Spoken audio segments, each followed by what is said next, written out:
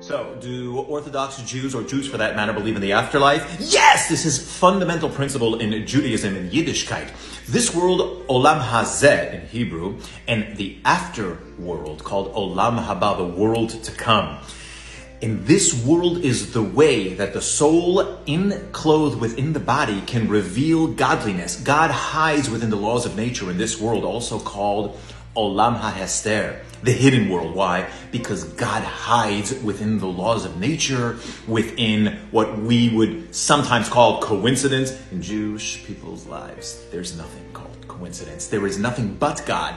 And here, Olam HaHester in the hidden world, we can actually feel that we are in charge of our own destiny. But really, there is nothing but God.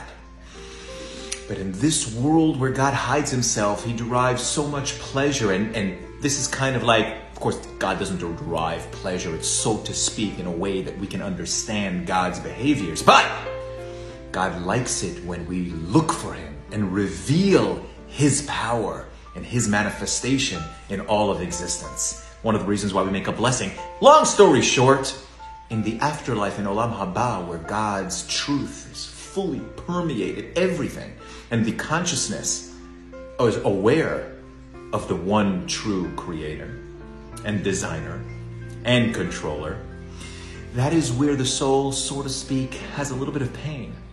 Because it realizes that if only it would have worked a little bit harder when the soul was enclosed within the body, because this is where it's at in this world.